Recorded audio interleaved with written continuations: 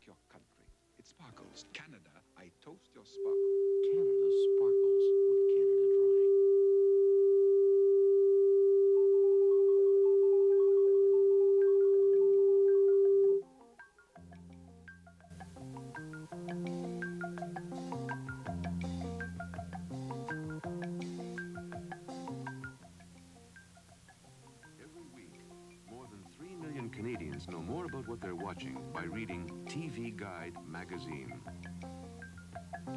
Issue on sale now. McBride TV and stereo has something extra for you. The Hitachi Luminar 20 television gives you proven reliability and 105 channel capacity. Plus, you have the Hitachi Touch. The Hitachi Touch. Some people have it, some people don't. McBride TV and stereo has it. McBride TV and stereo at the corner of 6th and Columbia in the heart of downtown New Westminster. Announcing the March Madness sale at Saks Fourth Avenue. This week only, prices are slashed 50%. That's right, 50% off beautiful oil paintings and 18, 14, and 10 karat gold. Choose from hundreds of gallery art selections and frames. And quality. Italian crafted gold chains and bracelets at their best prices ever. 50% off during March Madness this week only at Saks Fourth Avenue. Save now, a block and a half west of Burrard at 1943 West 4th. Coming up next, Webster.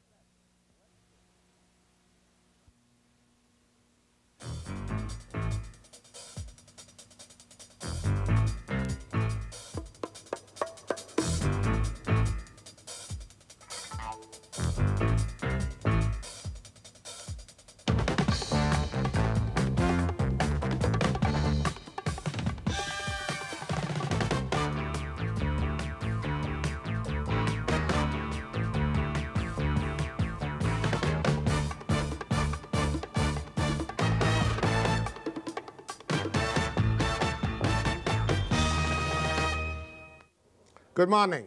British Columbia is poised for its massive coal deal selling metallurgical materials to the Japanese steel industry. And British Columbia, in the form of the social credit government, is gloating with delight at the prospect of this fantastic bonanza, they say. On the other hand, how are the Canadians doing in getting the Japanese to give us some preference the other way around in trade? Not so good. But yesterday, by happenstance, uh, old Leather Lungs Phillips and Ron Basford were up at the site at Town, Tumbler Ridge, uh, setting off a ceremonial blast, a pathetic little peep. Phillips could have blown it further with his famous leather lungs.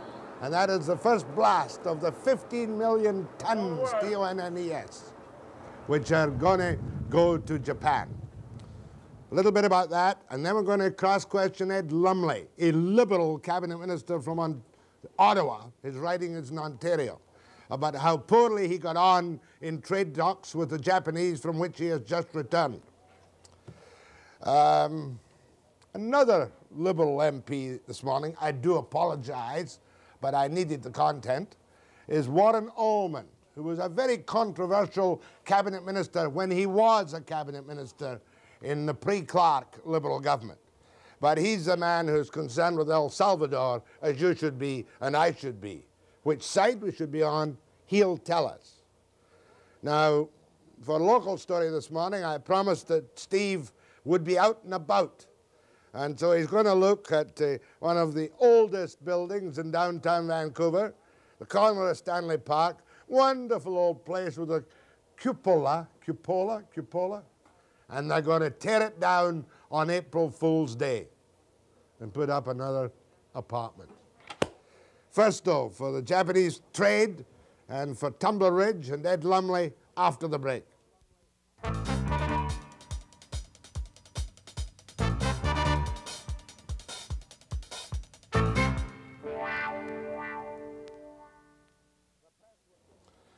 The press were taken up to the town site at Tumbler Ridge to watch the first big blast, signifying the ceremonial takeoff of the 15, 7.7 million tons of coal to Japan. And we were there, all set for a massive explosion. We're now looking over the general area of the mine sites. I think that's Bull Moose, I'm not quite sure. And we'll come down across. They don't have to buy it from British Columbia, Phillips. but they have chosen to buy it from British Columbia, and that will provide jobs and will help our balance of payments. But don't forget one thing. We have a good steel industry in Canada, but that steel industry in Canada buys its coking coal not in Canada, but in the United States of America. So what really is the difference? All we're doing is offsetting what the Eastern steel firms are sending out dollars to buy coking coal in the United States, so the Japanese are bringing it back, buying coking coal from British Columbia. Why don't they buy it from us? Why don't the Eastern companies buy it from BC? Well, that's a good question, and uh, they've traditionally bought it in the United States. I don't think anybody's ever put it in a computer. They say now because of the cost of transportation that uh, they can't afford to buy it here. But I think if the Japanese can transport it all the way from British Columbia to Japan, then maybe we better take a second look at it. But uh, the, the Eastern steel companies in Ontario have never bought their coking coal in British Columbia. Ontario Hydro, indeed, are buying some steam coal, but the Eastern steel companies haven't been buying any coking coal. We're uh, exporting actually uh, some of the world's finest metallurgical coal at very high prices. And the uh, mining industry and the forest industry and forest products industry are an important part of the Canadian economy. The uh, last federal budget in their um, development policies spoke specifically about the resource sector of the country and the need for the federal government in ways that it had not done before to stimulate activity in the resource sector. Um, Canada has grown wealthy out of the resource sector and will continue to, to be wealthy, I think, out of the resource sector. And here comes the ceremonial blast again. One stick of dynamite. Restraint is in in British Columbia these days. What?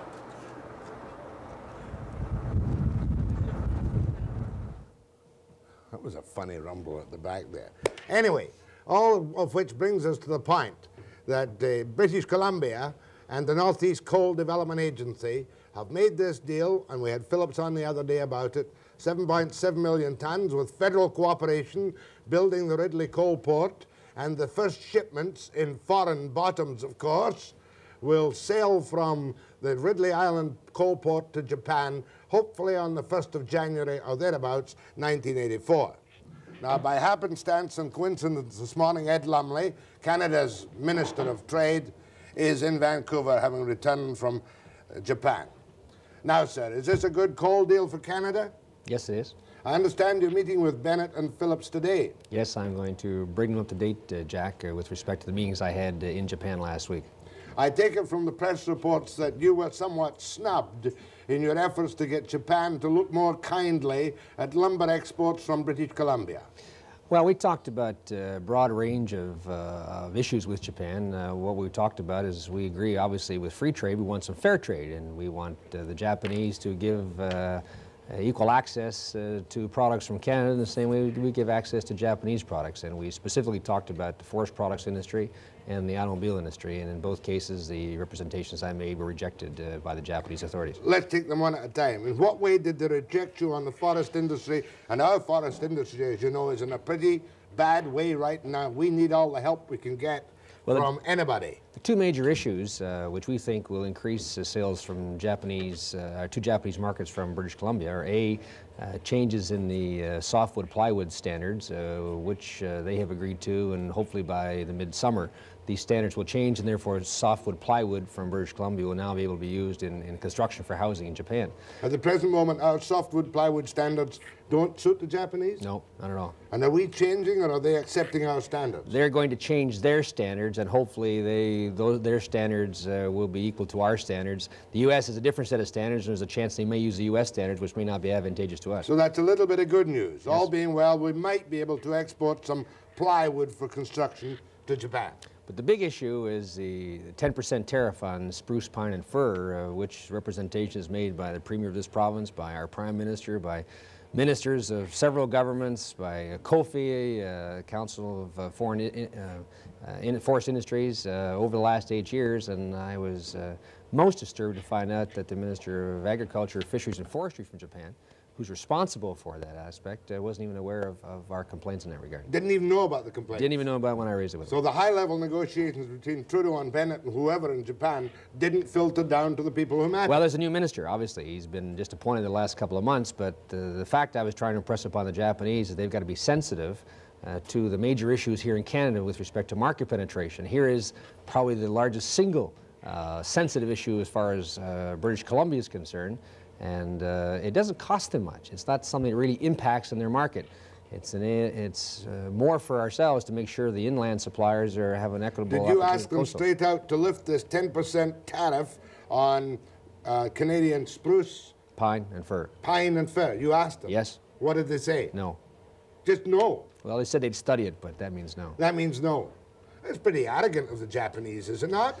Well, uh, we're, we're kind of disturbed that we don't have equal access. Uh, the Council of Forest Industries and uh, British Columbia businessmen have made substantial representation to me saying, look, we've got to have easier access to the Japanese market in the same way they have access to our market, and that's why we made the representation we did. Now, will you now go back and tell Trudeau that the Japanese hadn't even listened to him and that you want him to try again to try and hit somebody over the head diplomatically and say, what about this? Well, this, you know, this sort of ties in with the whole meeting we had at Key Biscayne between the Americans, the Europeans, uh, and the Japanese, and the fact that uh, if we're going to preserve the liberalized international trading system, which we've all benefited from, particularly Canada and Japan, uh, it's important uh, during the next six to 18 months when all the industrialized nations are experiencing difficult economic times, that the nations are sensitive to particular issues in, in each other's uh, country.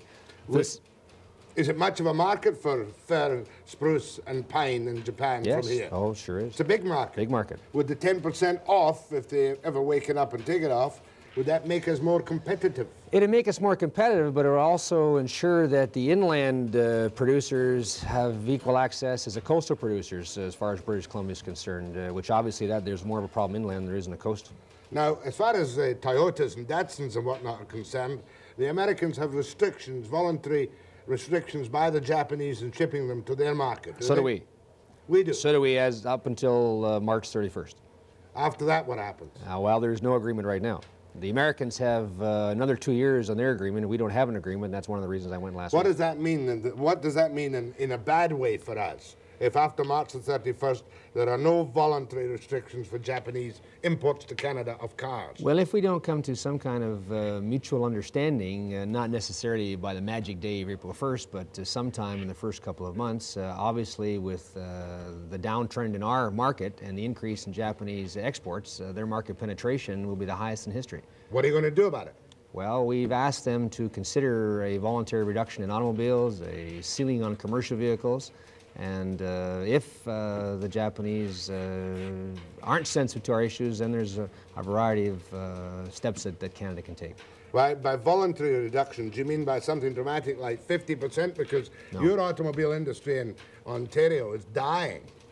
Yes, it's not exactly in the best of straits right now. How much of a reduction do you want? Well, we have asked them to give us nothing less than what they'll give the United States. Uh, one of our problems we feel with, uh, with Japan is that they treat us like the 51st state.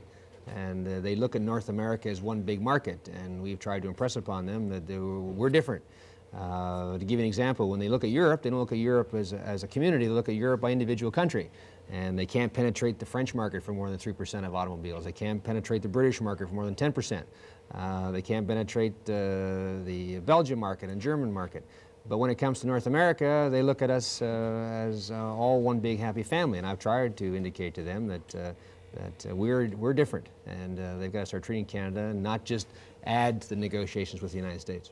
In other words, they'll say, the hell with you, we're sending as many cars as we can sell to Canada, and God bless you. Well, they've increased their market in automobiles from uh, 12% in 1979 to 23% in 1981. They've increased their, their penetration uh, from 6% in commercial vehicles to 16% in 1981. And if you uh, assume that they'll ship the same amount as last year, which they'd like to do, and that we have a declining market, uh, that penetration could easily go over the 30% mark. And that's just not acceptable to us. Now, but you must move as a government and stop it. Yes. When? Well, we'll wait and see uh, the final response to our proposals. Uh, they're negotiating with the Americans right now. Uh, they won't finish those negotiations probably until the end of April.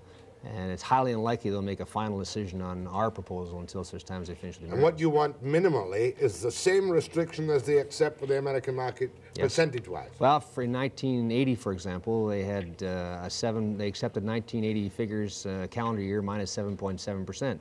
Uh, with ourselves, they accepted uh, fiscal year uh, minus six percent, and uh, that would mean a reduction of about uh, 30,000 vehicles if we had uh, parity with the United States in a automobiles big help, alone. Big help for our car industry. sure would. And, and, and that's not the panacea to the whole problem. Obviously, we've got some structural problems within our own industry. I have said to the Canadian manufacturers, you, uh, you want us to be sensitive to your needs in the industry. You want Japan to be sensitive to Canada's economic needs. Well, we want the automobile manufacturers to be sensitive to our needs as well. You mean build a better car? Well, not only build a better car, but source more parts in Canada. They're sourcing more parts in Japan, Mexico, uh, Brazil, other countries. We want them to source more parts in Canada. More with Ed Lum- Lumley, Federal Minister of Trade, after the break.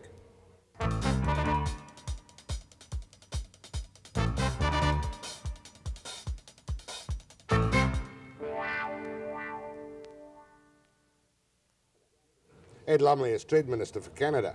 You're really laid it on the line there. You want the Japanese to behave more reasonably. Or your government, you'll recommend to the government that we take some fairly tough action against them. Well, we just want to be treated fairly, that's all. As fairly as the Americans As are fairly treated. as the Americans. And as fairly as, as we treat the Japanese. I think the proposal we put towards them, I spent a great deal of time putting myself in their shoes. I mean, they have political problems too. Uh, they have pressures too from their industry. And we tried to put a proposal forward which we thought would have the least amount of impact in their market and yet to relieve a bit of the pressure in our domestic situation. I never understand this, but where does the trade, the favorable trade balance lie between Japan and Canada? Well, 1981 figures will have a surplus of estimated about 400 million, but uh, that's a substantial drop from the 2.1 billion which we had in 1979. On the face of it, therefore, we're doing well, but the trouble is we're selling them raw materials and taking their manufactured goods. Only 3% of the goods that we sell the Japanese are what we call end products, so in the, in the labor intensive side. 97% of the goods they sell us are in the labor intensive side. They use us, if you'll forgive the expression, as hewers of wood and drawers of water. Well, we're good hewers of wood and drawers of water, but uh, the last couple of years we've been able to penetrate other sophisticated markets around the world, such as the United States, uh, Germany, the United Kingdom, with manufactured goods, but we haven't been able to penetrate the Japanese market. So uh, we obviously, uh, if we weren't penetrating other markets, then, then maybe uh, the blame all the rest with Canadian businessmen. But Let's look at the Northeast coal deal, which really started this morning with that one dynamite stick blast. And we're going to sell them. It's a $2 billion deal.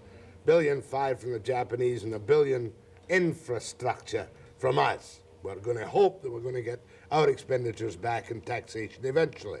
Is that a good deal for us, or have you looked at it, and do you think that we're subsidizing the coal for Japanese steel mills? Well, I only speak for, for the federal government. I was involved back in 1977 when I was a parliamentary secretary to the Minister for DRE when Mr. Phillips first made his presentation to Ottawa with respect uh, to Northeast coal.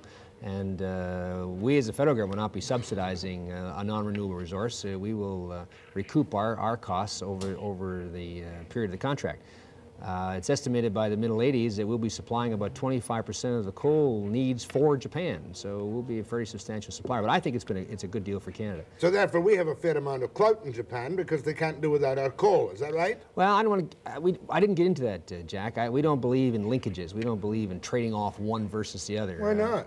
well, I, it's not. Uh, it's not good policy, and it's very short-sighted. In, in You take in my term. washing, I'll take in your washing. Well, I don't. I don't think official linkages in the long run prove to be a benefit uh, for a country, particularly a country like Canada, which depends for almost one third of its GNP in, in export markets. Uh, it could get you into some trouble down the road. Okay, but don't we have a, haven't the Japanese parties to GATT and all these other tariff arrangements? Yes. Well, how do they get away with this 10% tariff on our spruce uh, fine and, Spruce, pine, and fir. yeah, spruce pine and fir, spruce fine and yeah. Well, that was that was for negotiation during the Tokyo round of the GATT, and uh, it was one of the issues which we raised with them that they refused to, to reduce. But it was something during negotiation. Okay, cars are a big thing, and you're going to be hard-nosed on cars. They've got to come down at least to American standards, or you'll take unilateral action? Well, we'll there's some various alternatives we can take. Okay, cars, fir, spruce and pine. What else did you nag them about, about which they were not aware of our problems?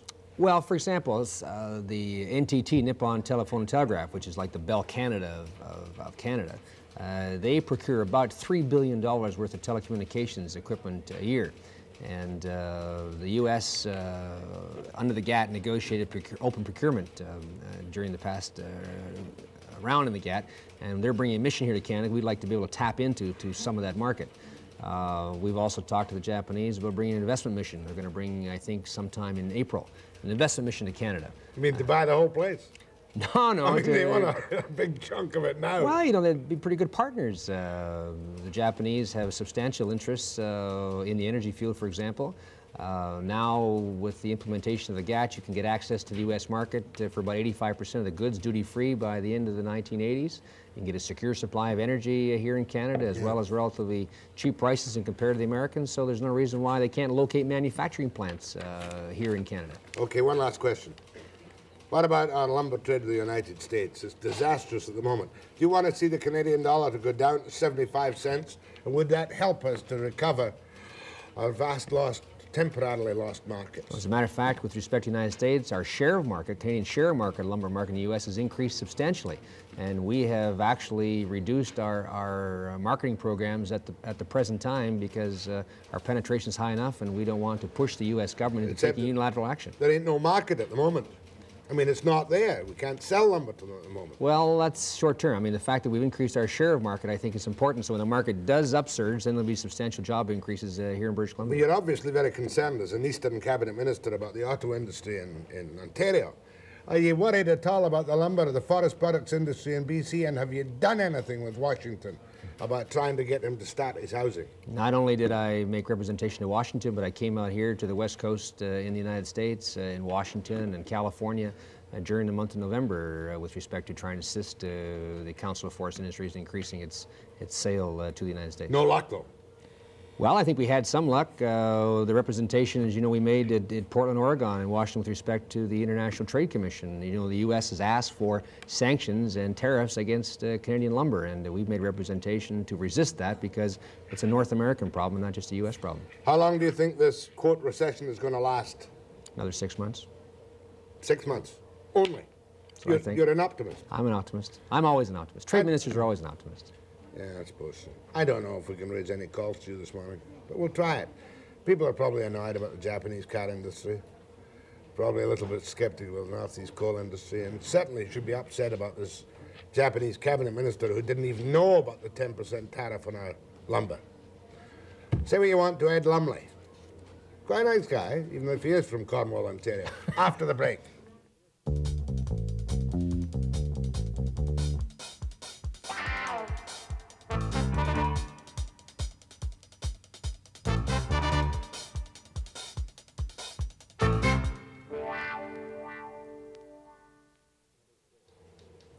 Ed Lumley, Federal Minister of Trade.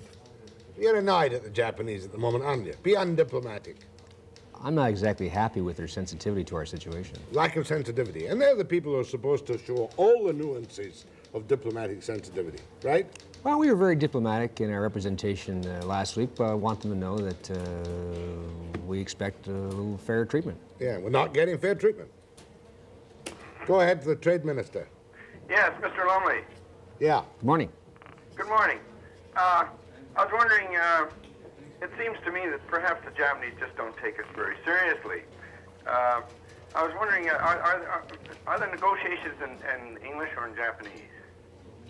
The negotiations are conducted through an interpreter. Uh, Well, you know, are, do we have any people that speak Japanese? yes, we have excellent interpreters with the Secretary of State's Department.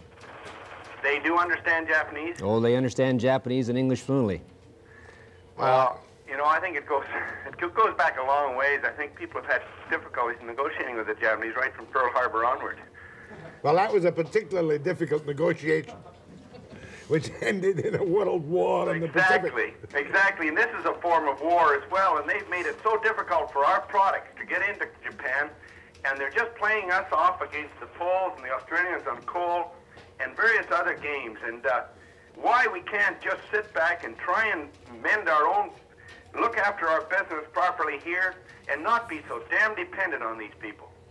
Well, it's not a question of being dependent. There are our second largest market. We do sell them over four Right, billion there are dollars other of goods. markets, or you don't have to dig every ton of coal out of the ground. And it, and I'm not saying it's true, but there are a lot of suspicions that we're darn near giving it away. That's true, caller, and thanks for your call. Little suspicious that guy is of the Japanese. Go ahead from Pender Island. Good morning, Jack. Good Morning. Yeah, good morning, Mr. Lumley. Good morning, sir. I was just wondering if you were aware of the uh, practice of shipping logs down to uh, the States there under an export license from Vancouver to an American logging firm, and then they're loaded onto a ship under a, a new export license and going to Japan, raw logs. That's not an export license by the federal government, to my knowledge.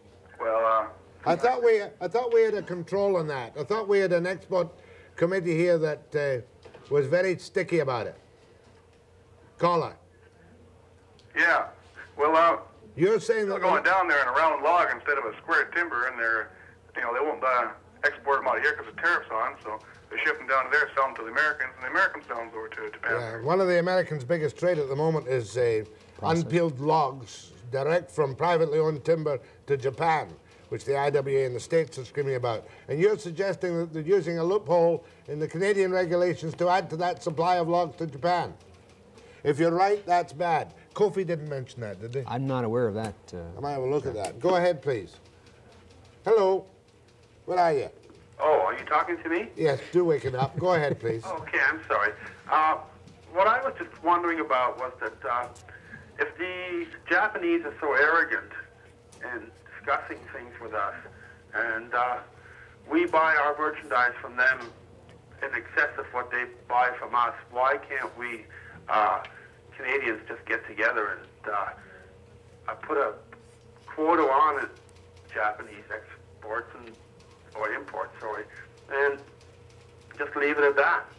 Well, there are many possibilities which uh, the government can undertake, but we like to do things in a positive, constructive way, and what we're really asking for is access to their markets, and we'll wait and see what their reaction is. I suppose so. I remember great annoyance out here when you first brought in your protection for your Ontario and Quebec clothing factory in the rag trade. And the prices of everything we were getting from Korea and Southeast Asia doubled. Do you still have these uh, quotas on cheaper imports from uh, clothing from Southeast Asia? we have Asia? quotas on some products with some countries, but uh, not the same number we had, uh, say, 10 years ago. Well, I've got to ask you this question. Are we Westerners still subsidizing inefficient uh, clothing and shoe operations in Ontario and Quebec? Well, as a matter of fact, Jack, the uh, productivity in the textile industry increases in the last five years have been one of the highest of all the manufacturing sectors in Canada. Times have changed. Times are changing. But they are protected by tariffs. There's certain uh, products are protected by tariffs. That's why uh, the price of shoes doubled, as I recall. No, with respect to shoes, for example, we just uh, withdrew the quotas on, on leather shoes from all over the world on November 27th. Oh, private joke. Fotheringham will now be able to buy a cheap pair of Gucci's. Is that right? Go ahead, please. Yes, hello, Mr. Lumley. Yes, sir. My father has worked for Ford Motor Company for 29 years, and um, he's taken pay cuts, and right now he's at the bottom of the pole as far as seniority goes. And uh, I don't see Japanese warehouses in BC taking any kind of pay cuts or any employees being laid off or anything like that. I don't know quite what you're getting at, but can I ask you, are you involved in leading on the Japanese to do much more of the construction of motor cars in this country? Yes, we made representation to the Automobile Manufacturers Association to start to think about putting a manufacturing assembly plant and parts plants in Canada, as well as purchasing more parts of Canadian uh, auto parts manufacturers. Have they got any assembly plants in Canada? No, and that's one of our irritants, the fact that uh, the first two major announcements the Japanese made were for the United States, and now General Motors is discussing with Toyota for a third one. So we don't see why we can't have one of those plants in Canada because we're just as productive as We're a big market. Yes, we are. How many Japanese cars a year? Frighten 174,000 last year. 174,000. Do you happen to know how many Canadian cars were sold? Uh, 850 odd. Still a fair dif distance. Yes. But if you hammered them, we'd sell more Like Canadian. 750, sorry, Jack. 750. 750. Go, nobody there. Go ahead, please. Yes, good morning. Morning. Uh, my concern is that um, uh, Johnston recently tabled his uh, budget estimate in for, for, for the year, and uh, my concern is the 130 billion dollars national debt that we've uh, uh, that the Liberal government have rung up over their years in office, and more particularly, uh, there was an article printed in the paper uh, dated February the 24th, which states clearly that it takes 540,000 working Canadians just to pay the interest on that debt. and uh, uh, this is the highest debt since the Second World War, and the government uh, keep uh, initiating restraint programs and telling everybody to restrain. uh, on spending, and they seem to be doing exactly the reverse. And I'd like uh, I'd like the gentleman's comments there. Well, one of the major thrusts of Mr. MacEachen's budget uh, was to bring expenditures down below the growth rate in the GNP. And of course, uh, to do that, that obviously meant that there had to be some cuts in some other areas. And of course, we all know the criticism which MacEachen was under as a result of, of that particular Especially budget. from your cabinet colleagues, Mr. Kaplan, who called it seriously flawed, a political disaster, and your Prime Minister told Mr. Kaplan he was unforgivably naive. Do you think Kaplan's going to have to quit the cabinet for that boo-boo? I don't think so. I think that, uh, as Mr. Trudeau said, I wasn't here when it happened, but Mr. Trudeau said that uh, he didn't ask him to resign, and, and I think they've had their discussion. Just, uh, you've been out of the country. I just got to fill you in. Well, the point Hey, is, just a moment, please. In my judgment, said Trudeau of Kaplan, he's been sufficiently chastised for the time being. God, he's got the sword of Damocles, Pierre Damocles, hanging over his head. Hello. Yeah, carry on. Yes, I, well, you know, they always uh, uh, tell you these things, but I mean, they've been in power uh, some 13 years. And uh, they, they keep saying uh, the budget, the budget just came out. What's been happening for the last few years? And what are they doing to reduce that national debt? Yeah, what are you doing to reduce the national debt? Just exactly what uh, I said, what Mr. MacEachen said during his budget, that he's going to control the growth of expenditures below the trend rate in the GNP. And uh, that creates a lot of pressure for us because everybody in the country wants assistance from the government. A call from Black Creek. Where is Black Creek? Black Creek is halfway between Courtenay and Campbell River, Jack. You should know that. Yeah, I've forgotten. Go on, carry on. I can hardly hear you. Well, speak up. Yeah, uh, Jack, I wanted to talk to Mr. Lumley with regards to uh, uh, putting restrictions on merchandise and this type of thing. Uh, would I be in order to talk about ammunition for a short while? Ammunition, we're not going to start a war with the Japanese. No, no. Uh, I was out bird hunting up in northern Alberta last year. And uh, um, I understood through the wholesalers that uh, there was an embargo placed on American ammunition to come into Canada, like Remington and Super X and all these various brands of ammunition, of shotgun shells. Now, uh, what happened last year was that I bought a couple of boxes of uh, Imperial long-range shells for a friend of mine when I was up in Peace River City. And when we come back, there were two of these shells uh, were blowbacks. They were they were they Oh, were just co- uh, the, come the on, quality come on. control was so poor that the powder didn't even push the wads out of the barrel. Now, luckily for this man, he had a, a shotgun which was an automatic. Consequently, it didn't eject the empty. Just a minute. What's the point of your call? The You point want... is quality control when there's embargoes made on, on merchandise brought in from other countries. Oh, good point. From Black Creek. Well, I'm not aware of the specific uh, case in hand, uh, but there's no question about it. If you went to back to the beggar thy neighbor policies, to a real protectionist uh, system that existed back in the 30s, uh, Uh, quality control does suffer. But as I said at the start of the game, it's not just free trade, it's fair trade. Okay. One, you were irritated, not irritated, you were upset by the Japanese lack of interest in Canada's problems. Lack of sensitivity to our two major issues. And you're going to hammer again on the 10% tariff on some of our lumber, and you're trying to get them to do something about their automobile penetration of our market. Yes. And you want some car plants here. Yes. And you think the coal deal probably will be good. I think coal deal is good for Canada. Well, I hope your cabinet doesn't fly apart these days, but at least you've been a very positive minister who said something this morning, and that, on occasions, is a change. My thanks to Ed Lumley, the Federal Minister of Trade in the Trudeau government in uh, Ottawa. Next, our next cabinet minister in the Trudeau government, Warren Allmand, after the break.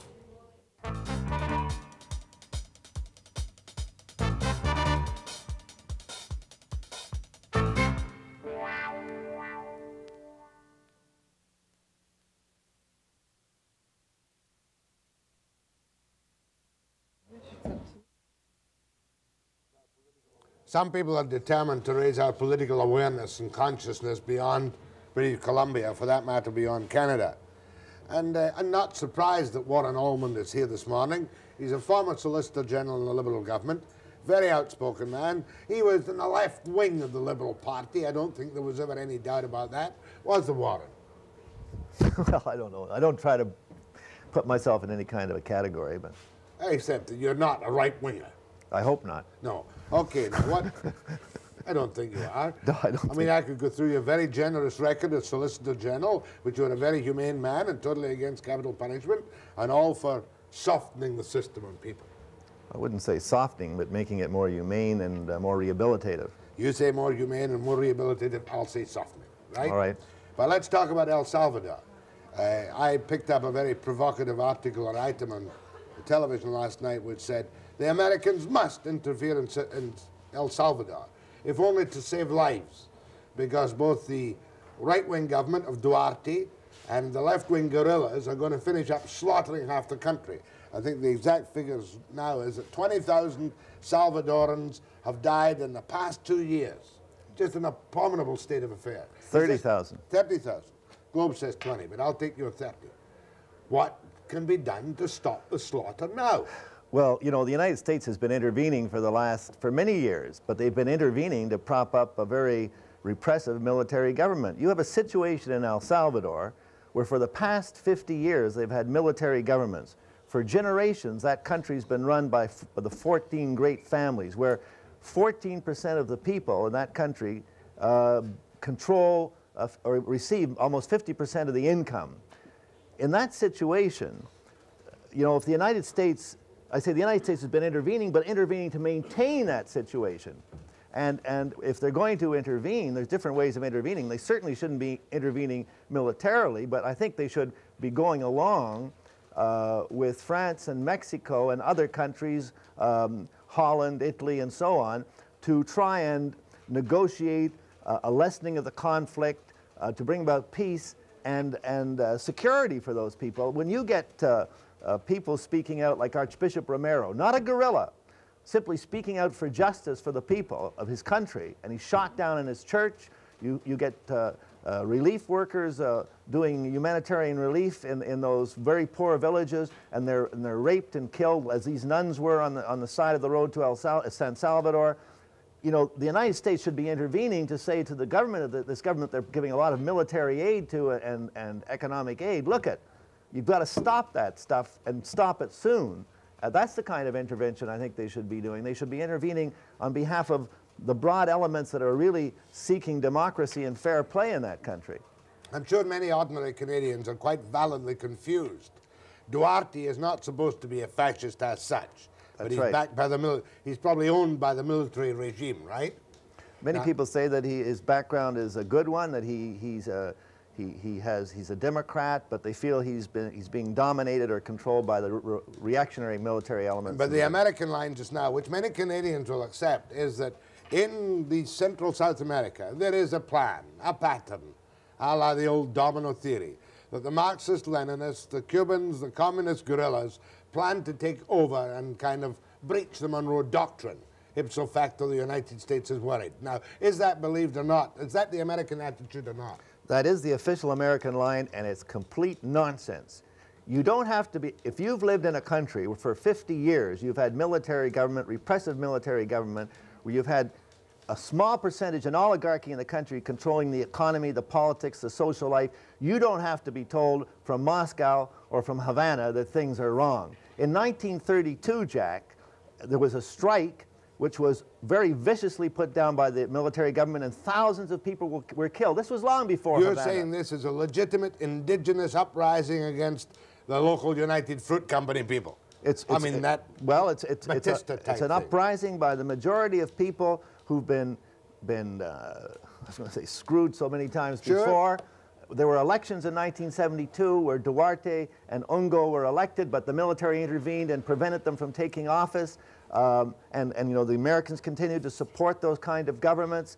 Um, it- you know, uh, the greatest hypocrisy, in my view, is when I was watching that, uh, that, that great television extravaganza where the Americans were condemning the military government in Poland and the martial law, and Right. rightly so, because any reduction of, of, of justice and expression, freedom of expression is wrong, and they should condemn it. But on the one hand, to condemn that, where maybe a few hundred people were killed, and that's bad too, nobody's. But then on the other hand, to prop up a military government in Central America where 30,000, approximately 30,000 people have been killed, and by the way, 10 to 1 of those people that have been killed are civilians, not guerrillas or soldiers. That's right. Both sides seem to be So, you know, there's a great hypocrisy there. How, on the one hand, you can condemn military government over here and, and, and prop it up and, and feed it with arms on the other Well, side. Well, your geography is better than my geography. Okay, Salvador, you've got a right-wing dictatorship of some kind in effect. Well, it's supposed to, it was supposed to be a reform junta, but in, in fact, it is a right-wing dictatorship. Nicaragua, what do you got? Nicaragua, you've got a, a new revolutionary government in power.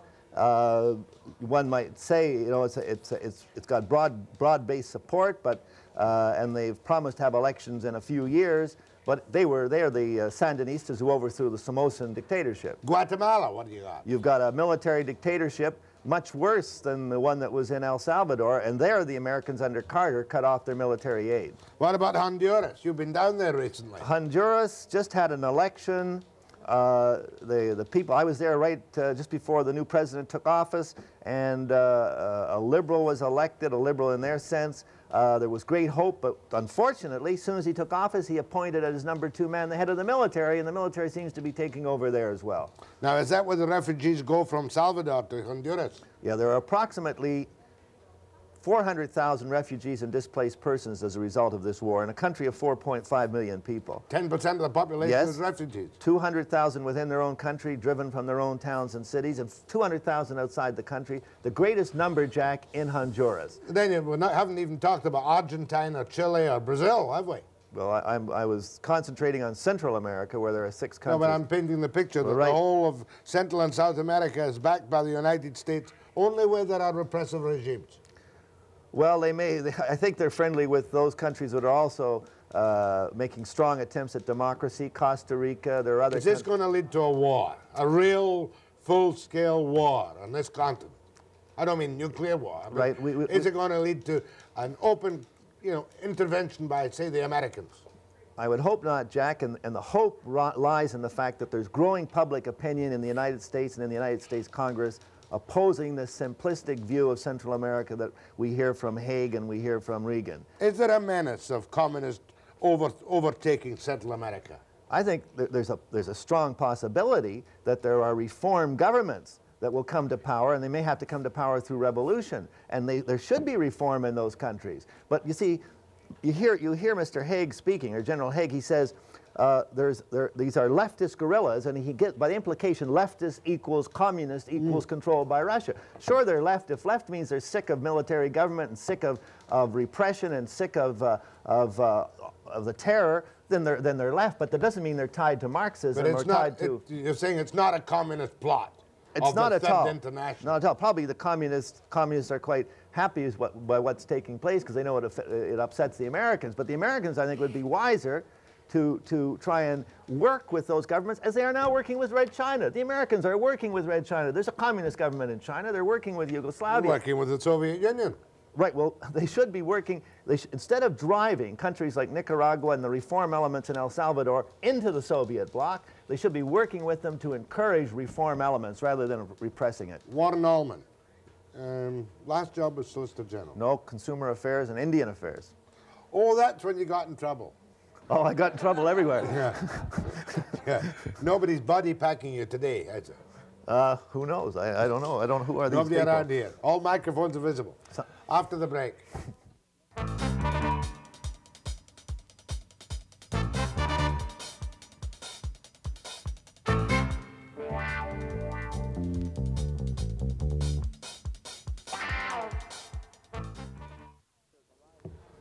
Well, you say there's a rising tide of American opinion against intervention in Salvador. I've got no feeling for Canadian opinion, do you? Uh, well, Canadian opinion is beginning to come around too, although Canadians generally, Jack, are, are quite um, unfamiliar with Central America. They know the Caribbean, they've been to Jamaica, they've been to Barbados, and so on. But with, when you mention Costa Rica, Honduras, they don't even know hardly where they are. They don't even know how to put them together. In I couldn't tell you if Costa Rica is Puerto Rico or not.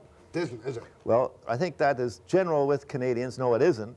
Um, and uh, Is Puerto Rico a state? uh, Puerto Rico is a, is a Territory. is part of the United States in a sense. It's a, not a full state, but it's a territory. Question. We generally look at it and say, one, the Americans are baddies. They support the, the right wingers. The left wingers are commies. You know, that's what we say broadly. Well, that's a speaking. simplistic view. The simplistic view. I thought Canada was having some part in supervision of elections. Was it in El Salvador? Canada was asked, along with several other countries, to come and observe these elections. Um, we feel the elections, uh, many of us feel that they're a fraud. They're a fraud because the major opposition parties won't run because uh, to, to put yourself forward as a candidate is putting yourself on a death list. That's it's, right. it's almost like suicide. And there's no free discussion of the real issues in the media or on the platform, and therefore it's not a real election as we know it. And uh, to put a stamp of approval on it in any way, we think, is to uh, participate in a, in a fraud. All right, well, is this not a... Canada turned it down because they felt they, unlike Uganda and other places where they went as an observer for elections, they had no real power to investigate and report. Right. Is this not a classic case where the United Nations might put in keep peacekeeping forces? We recommended, uh, Jack, We, that we. Well, the group of us that went down there, uh, the, we went. I went down with two other MPs, and there was another subcommittee of Parliament with Maurice Dupras and Flora MacDonald and so on who went down, and they came to the same opinions as we did. Most of us think that there must be an international, uh, the international community must assist the, the, the El Salvador government and other elements. Why not United Nations? Why does United Nations apparently ignore this? Well, uh, they're trying. El Salvador is trying to, is- trying to uh, get some of these. Not El Salvador. Uh, other countries like. um by the way, there was a, a resolution before the UN Commission on Human Rights last week condemning uh, these atrocities, and Canada abstained. I was quite critical of that. I don't know why we abstained. I tried to get the reasons from Mr. MacGuigan. He gave me some reasons, but I. I checked them out. They don't seem to be strong to me. I, I think we copped out on that one. Uh, Who won't even vote against atrocities? we didn't, uh, 25 countries voted against. The Americans vote, uh, voted for the resolution. The Americans voted against with Argentina and Uruguay with these right-wing uh, dictatorships. Oh, that's why we abstained. We didn't want to annoy the Americans too much. Well, we, we've taken a very independent position with Cuba over the years, and the Americans didn't like it. We, we should be doing the same thing with, uh, with El Salvador, in my opinion. Is Cuba, is Cuba the mainspring of the problems down there? Are they the supply center? No. Most journalists that have gone into El Salvador and visited those refugee camps say the arms that they see are American arms. And, and these, the guerrillas are getting those arms from their raids on military establishments in El Salvador. And the, the Salvadorian troops, some of them are selling corrupt, uh, you know, our, our corrupt troops are selling their own arms to the guerrillas. So most of those arms are American arms, as far All as people can see. What should Canadians do? Well, I think Canadians got to inform themselves better about this situation.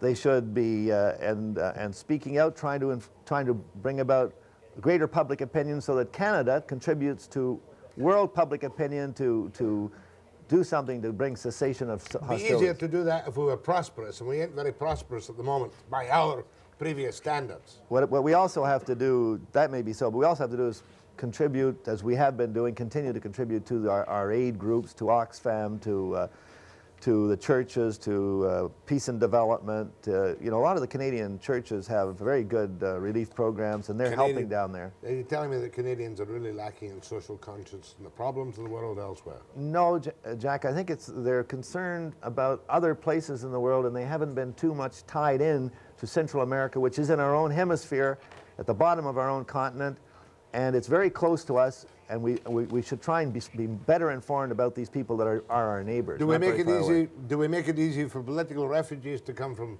Central America? Yes, and we've increased our, our quota has been a thousand last year and a thousand this year, and it wasn't taken up fully. But it isn't taken up because if you see visit these people, they're mostly uh, campesinos from villages. They're Spanish speaking and they're they've lived in warm climates. Uh, they'd have a hard time, most of them up here. But we have about three to five hundred that are up here now. Okay, Warren, we'll try some phone calls to you this morning. It probably won't stick just to Salvador, but you never can tell. Okay. Because you know how parochial we tend to be in British Columbia. I'm sure you do. After the break.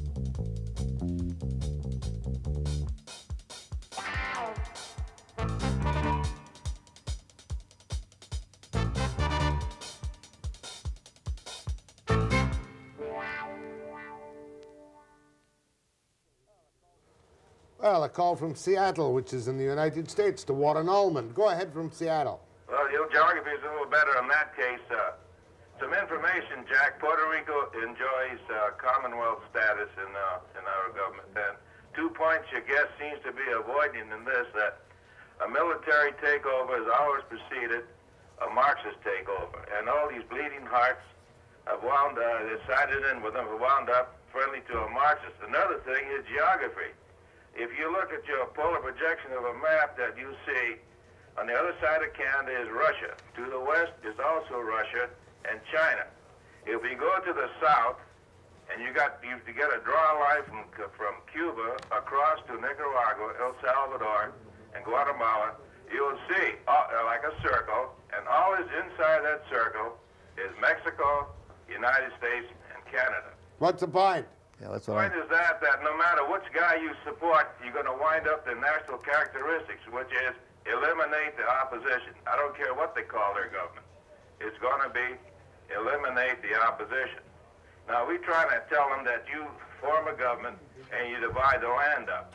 The other side is saying you keep all the land and you call it reform.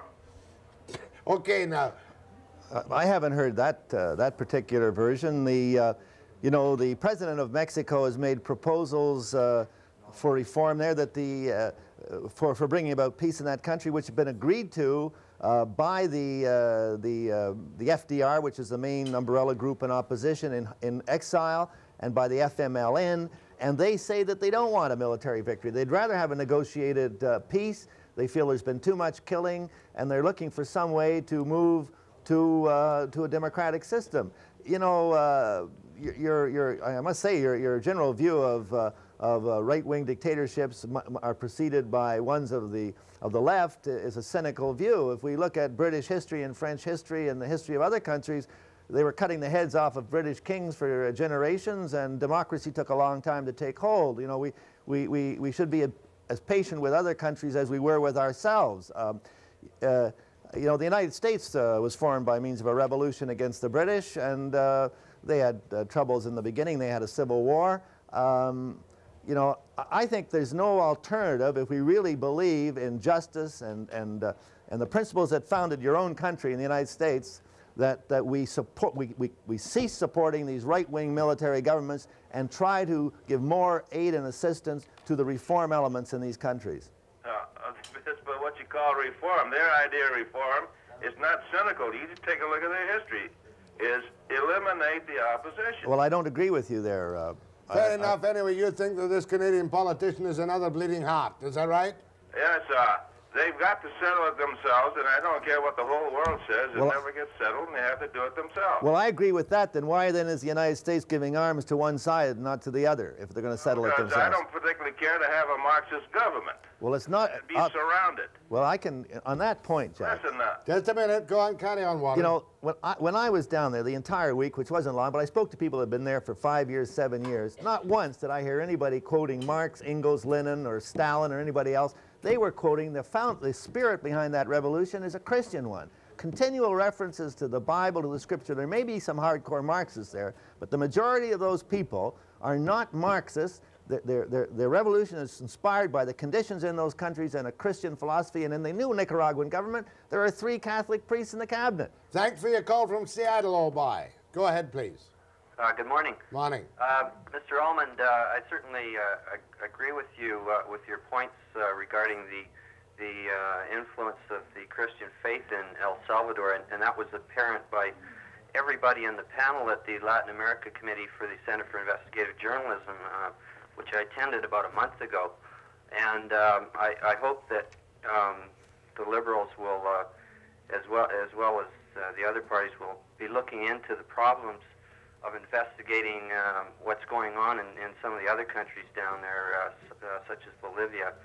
But uh, my question for you, and uh, point I'd like to make regarding the vote in the UN, uh, you say you really haven't uh, received any kind of answer from MacGuigan to your Well- satisfaction on that. Well, I received an answer, but I, I don't agree with their reasons for abstaining. O- Okay, well, I, I think that part of the reason is, is the fact that we are uh, uh, still part of NATO, and I heard you last night uh, saying that you don't think that that is significant, but I, I believe that it, it is a significant reason why we're going ahead with the testing for the cruise missile in Canada, and, and uh, there's been some talk that if uh, nuclear weapons are used, the first place may be in Latin America, and I think that you're on the right track, but I think you're pulling your punches a little bit. Well, I don't agree with you that I don't think NATO has anything to do with this. We were members of NATO when we took an independent position in Cuba. We were members of NATO when we took an independent position from the United States on Red China and recognized them long before they doing did. in, in the United Nations right now. You're not doing it. No, but, well, wait a minute. In some things we are. Elections. Well, well, look at France is in NATO, and France is taking is supporting the Mexican position. In NATO is one thing. Policy vis-a-vis Latin America is another. We've been free to disagree, and we've disagreed with the United States now on energy policy, on fisheries policy, on on acid rain, on many things. The fact that we're in NATO doesn't mean we agree with the U.S. on everything, nor with other NATO countries. Look at West Germany. Look at France. Look at Italy. Italy, in that resolution that you talked about at the UN um, um, uh, Commission on Human Rights, the vote there where we abstained, France, Italy, Holland, which are NATO countries, voted for the resolution the United States voted against. I can give you many examples. So being members of NATO merely relates to the defense treaty uh, vis-a-vis uh, these countries in the Soviet bloc. It has nothing to do with our policy in Latin America, and it shouldn't impede us at all. Thank you very much. Go ahead, please. Yes, Mr. Allmand. Um, I think what the other caller is trying to say is let's not just disagree, let's really disagree. Let's do something. Um, Well, what's the reason? Why disagree just for disagreement's sake? no, no, no, no, no, no. Hang on. We've, I agree with everything you've said to this point regarding uh, Central America. I believe that the paranoid reaction, paranoid reaction of the United States administration towards this expansionism of what they quote as what they call as communism. Uh, they have really no proof that there's any communist activity happening there in the first place. If it is happening there, it's a natural progression of thought.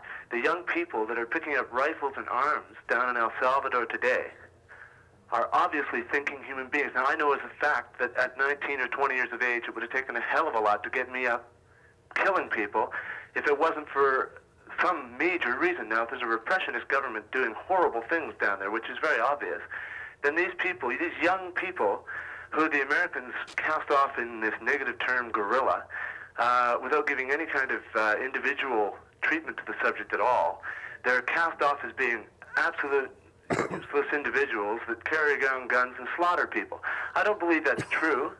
I believe that a lot of this uh, is brainwashing on the part of the American government, on the American, for the American people's sake. I believe that they're trying to fuel a major conflict so that they can improve their economy by selling weapons. And I believe that it's Canada's turn to stand up and uh, all Canadians who are listening right now send a little note. All you have to do is send one note to your MP. Say, either uh, be strong about El Salvador or lose your position, period. And get very, very strong statement about it. Get an, get yourself. You can introduce it. You're an MP. Introduce a bill into the House of Parliament saying that we are going to uh, hit them with a heavy-duty trade sanction if they don't get the hell out of El Salvador and let those people clean up the mess themselves. Mr. Allmand? Well, I, I agree that, uh, that Canadian citizens should protest to their MPs of all political parties, and I, in turn, of course, will, I c- will continue to make representations to my government, perhaps by means of motion. But, uh, you know, contrary to the implication of the last caller's uh, remarks, you know, I, I'm a liberal, and when I, despite that fact, if I think their, their policy isn't correct, I'm saying so. But I'm not going to, uh, there, I, I- I don't think you can generalize it completely. There are some things I think that they've done that are correct, and I think they were correct in, in Cuba. I think they were correct in China. I had a lot to do with pushing our policy with respect to China. So I, I and Trudeau was the prime minister then, and uh, you know I think he made some good moves. When he makes a bad move, I call it that way. I'm not just going to criticize just to criticize and No, I'm not saying do that, but I'm saying can't you possibly introduce a bill Well, not a bill, but I can introduce a motion. or a Bills are- motion, yeah, whatever it takes? Yeah. I'm not I'm not familiar with what your procedure is, but I Yeah. do know one thing: you're our only voice. Yeah, I yeah. can only get on to Mr. Webster. Thank God for Mr. Webster. I can only get on to Mr. Webster's show once in a while and express my point of view. By the way, I'm, I'm not the only one that takes this position. The, the subcommittee, the House of Commons subcommittee on the Caribbean and Latin America, uh, which put out an interim report just before Christmas, took the same position on the elections, took a very good position on Central America. And the majority of people on that subcommittee are liberals, and the chairman is Maurice Dupras. Uh, so we have other allies in Parliament. That's wonderful. Now, what we want to do is try and get some kind of national attention in the United States on their press, because their press motivates Well- the American emotions. We have to get some enough. kind of major action by Canada so that the Americans are reporting that to their people. If the Americans turn around and see their friends in the north expressing a very major concern in the form of something very, very definite, and they're taking an action, maybe they'll stop and look. I agree with that. Good. Much obliged. Okay. Are you in the media? He's gone. I ask him a question, he hangs up. Yeah, but After the break.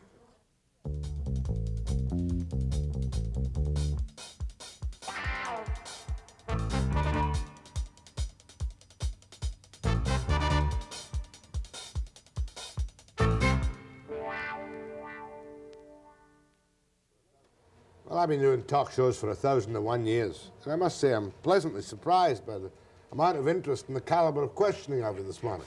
I mean, left to myself, I'd have gone after you as a real bleeding heart, you know, on Canadian issues. Sorry, I can't get at you this morning. I'll come back. But I got to ask you the one question. How long do you think Kaplan can sit under there, under the lash from Pierre? Unforgivably naive. Okay for the time being. Gee, wouldn't you have quit? Uh, well, I don't think I would have uh, sent a letter like that. I, uh, I th- it must be very tough on him. I, I, I really can't understand how that happened. I'm, I, I'll have to ask Bob Kaplan sometime how he came ab- how it came about. I just had to get in one local question. It's nice to be able to embarrass people about their colleagues. But you're not in the cabinet, so you're. You know, I'm freer now. I've got more freedom. That's right, much free. And you use your freedom too. I mean, you don't think, for instance, that the women's rights and Indian rights are properly stated in the Constitution yet, do you? Well, certainly not the Indian rights. Uh, I think the word existing has weakened that clause considerably. Of course it has. But you know, a lot, an awful lot of people don't want to give the country back to the Indians. Well, they don't want it all back, but they want their fair share. Just most of it. I wouldn't go that far. I'm only joking. Uh, calls. Subject, El Salvador. Go ahead, please. Yes, uh, Mr. Allmand. Yes? I was just wondering if you could clarify what you were saying about the Christian involvement in El Salvador. What exactly did you mean by that now? Well, when, you, when we were down in these refugee camps with thousands of refugees, when we spoke to them about, you know, why, why were they doing what they were doing in El Salvador, why the Civil War, of course, they referred to the conditions. And anybody that reads the history will know the conditions. As uh, the last caller pointed out, you, you know, uh, if, if any of us lived in these conditions, we would be driven to uh, revolution, not because we would be communists, but because we just want fair play and justice. Right. Uh-huh. But if you refer to a philosophy, like when we were there, people were saying, you know, Christ was born in a stable like we were. He drew, drew, drove the exploiters out of the temple, and we're going to drive the exploiters out of our country. The references that they gave uh, were to the Christian Bible.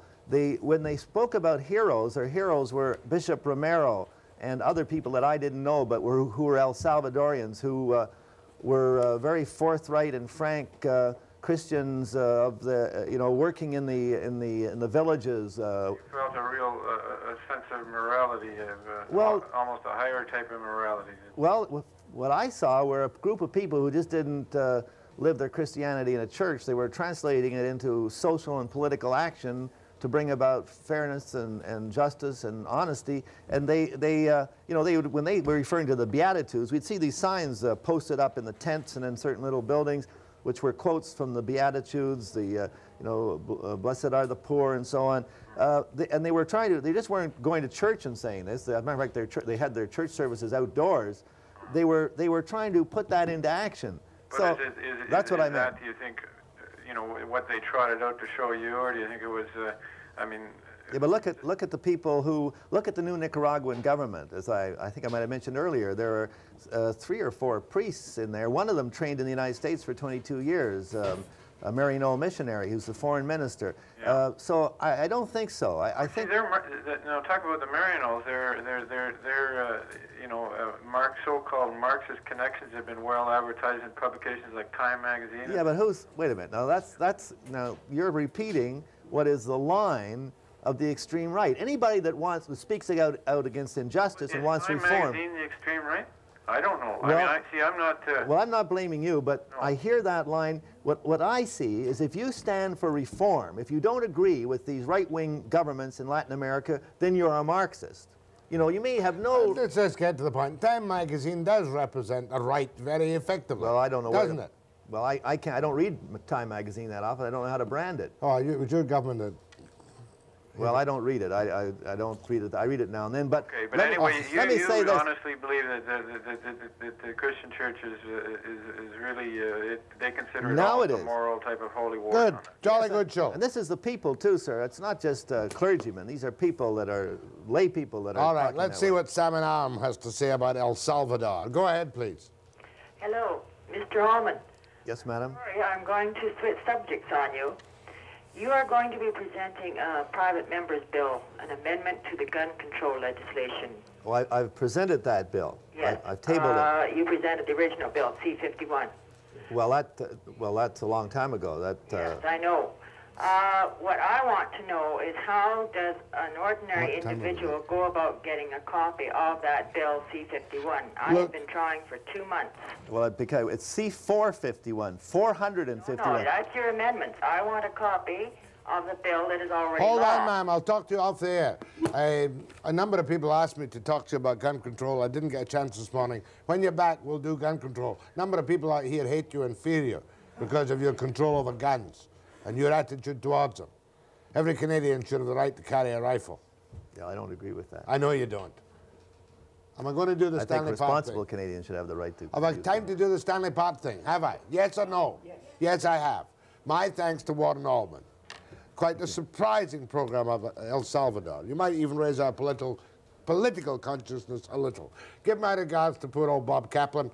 I'll be back with Steve and Stanley Park after the break.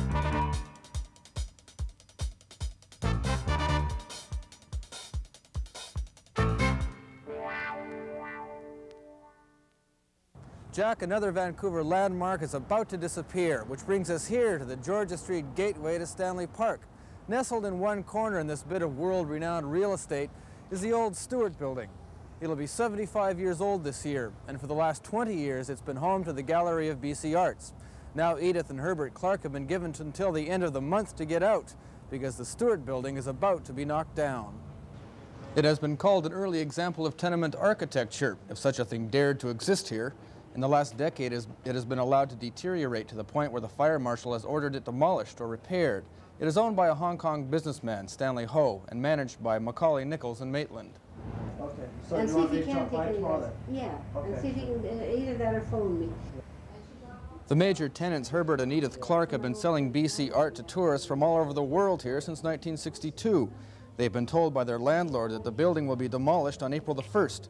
They know the building needs work, but point out that it was rewired just eight years ago. Now they are taking their Save the Stuart appeal to City Hall in the form of a petition. And we got over a thousand names in the petition. And Can I borrow your phone? Sure. Oh, well, we moved our phone. Can you bring the phone up this way? The notice from the fire marshal uh, called for a certain uh, work to be done on the building to bring it up to the code standard. If that was not done, the alternative was to demolish it. Oh, so the property managers were offered a, a choice, either rip it down or fix it up. Yes, right, they were. Now, what did the uh, property managers tell you? They had decided, obviously, to rip the place down, right? Uh, right, it seems as though no one is willing to spend the necessary money on it to bring it up to the code. Um, I was told by the president of Macaulay Nicolls that we could stay here until they were ready to demolish it, and I said we could get out in three days if necessary uh, when that arrangement was all set and in order. Uh, however, he said we could stay until that was definite. However, I was called the next day by his building manager and said they still wanted to stick to the 31st of uh, March. Well, so as far as you know, they're going to rip it down on April the 1st. Well, it's a possibility, but how do they do that with tenants in upstairs? And um, we're still here in the bicycle shop. Honestly, now, do you really think this building is worth saving?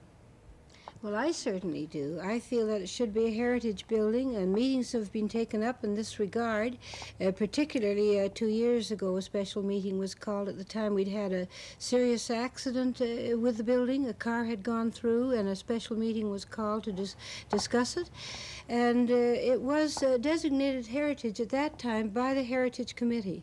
And at the, at the time that it, uh, this was brought up, um, But it was recently voted down again by uh, council. Uh, well, uh, recently on um, on um, When they were asked to spend some more money to take a second look at it, and they decided to turn. Uh, well, turn yeah, down- yes, that's right. But at the uh, former meeting, uh, the city had been willing to meet uh, Mr. Ho 50-50 in repairing the place. That was keeping two it years up. That was ago. two years ago now, yes. But Mr. Ho didn't take it up. This is the landlord who lives in Hong Yeah. Kong. Yeah. Very wealthy businessman in Hong yes, Kong. th- this was a representative of uh, Macaulay Maitland Nicolls who brought this up. And it was the, that option was declined. Yes.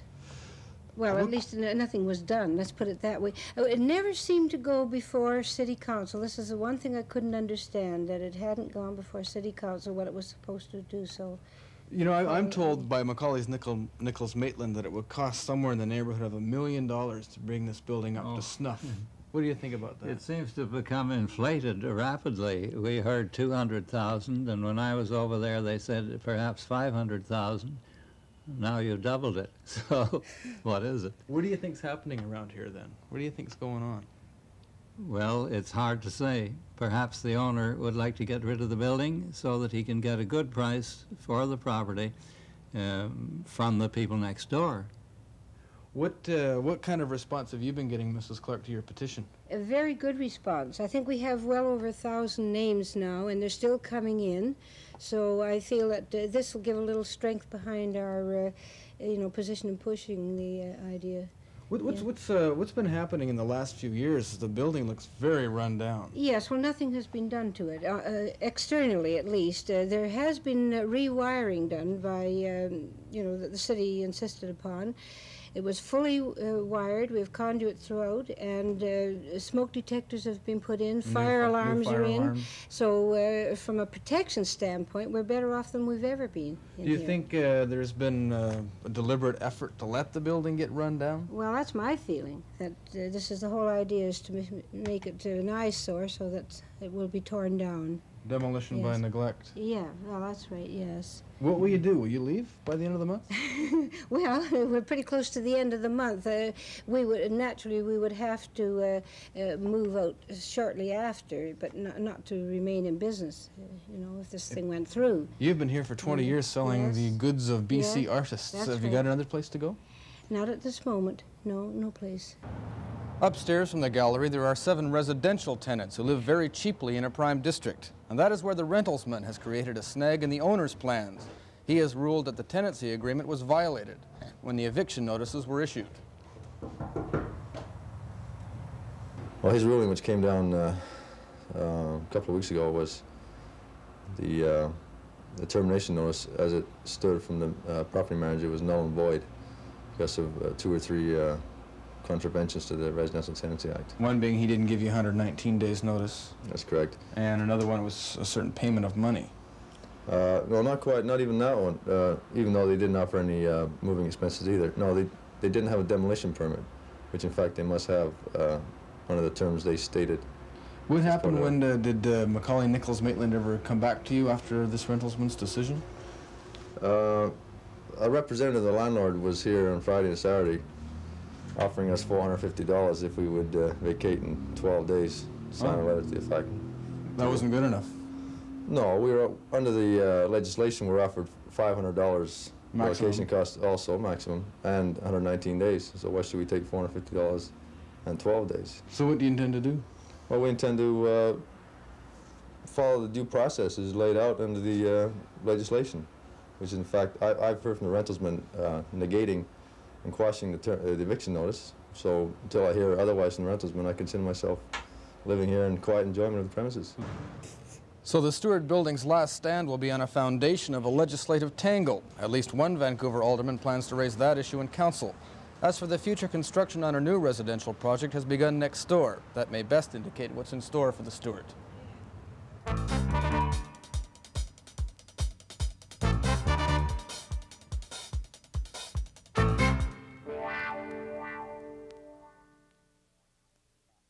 I got seven seconds to say goodbye. Goodbye. See you tomorrow morning at 9 a.m. precisely.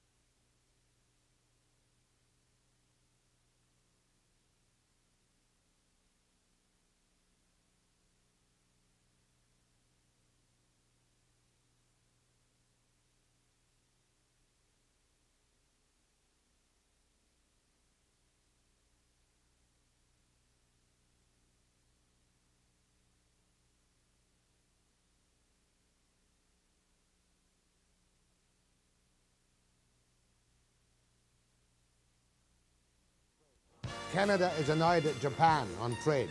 Check TV at midnight.